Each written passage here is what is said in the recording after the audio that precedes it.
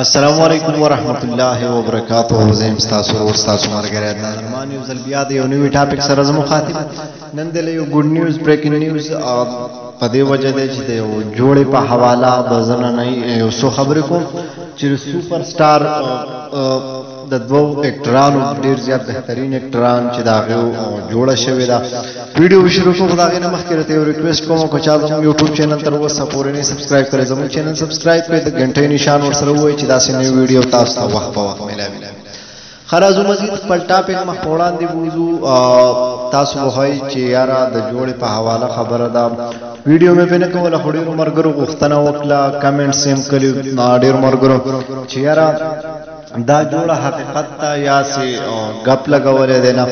نو د جانگیر او د شاهد خان چې مخ کې څنګه وران راغلی او بیا دا غیو جوړه وشو بیا یې سمود مخ کې بیا وران راغلی او چونکې ډیر فلمونه د شاهد او دارباز را لو خو جانگیر و پکې نو خو تاسو ته پته ده ورې چې دوانو نالګي و خو شکر الحمدلله جوړه دا غیو وشو وس پرې تیر او ستایس تاریخ چې کومه شو وه د شاه ارشد سینما کې هم وه او په صابرینا سینما کې هم وه د دې ټول جوړې د دې ټول روغوالي کریډټ یو بحث دا اکټر ته زی چې ډېر ښه اکټر او ډېر ښه کار د ټیلی فلمونو په داور کې کله په ډرامو کې سید رضا شینواری چې د دې جوړې روغوال سید رضا شینوار او جهانګیر او د دغه جوړه هغه وکړه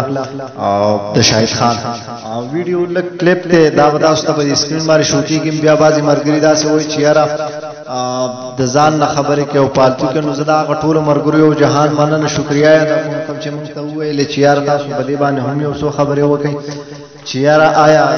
دا حقیقت ته د دې بیا جوړو ان شاء الله دا مرګرو د پاره ګډ نیوز چې کم نه شاهد پین دي د ارباس پین دي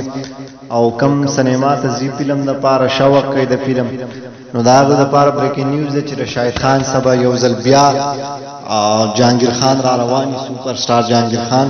چې د ویلن پرول کې یا د ساید هیرو کریکٹر پرول کې نو راضی به نو امید لرم چې ویډیو تاسو ته خوښ وي ان شاء الله چې تاسو کې به دغه شان کوشش کوو چې تاسو سره په یو نوي ټاپک په یو نوي موضوع سره مخاطب شو د همیشه لپاره به موږ ان شاء الله کوشش وي د شوبې سره ریلیټډ دا د جوړې په حواله دغه یو څو خبرې چې ذاتی زما بخپل ذاتی زبر تداوی مچ یو کس د بل په خوشحالۍ باندې خوشحاله شي او خپه پې نه شي لکه زمونږ په موږ کې دا مرض دی چې یو خی او بل او بیکار یې زمونږ په بل کس باندې خورس پرزون شي مر خبره مقصد دار